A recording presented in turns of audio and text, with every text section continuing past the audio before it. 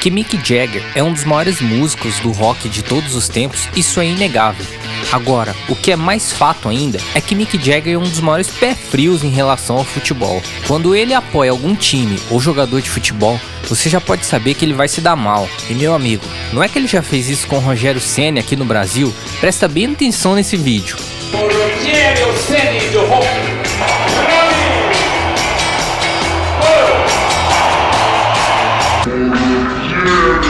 send me your home.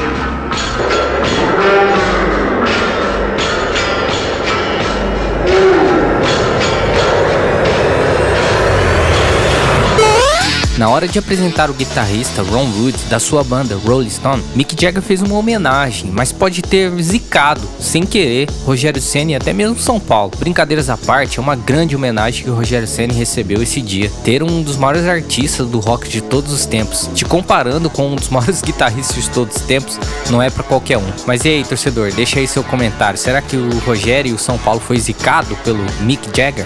Deixa aí no comentário. Tamo junto, torcedor do color.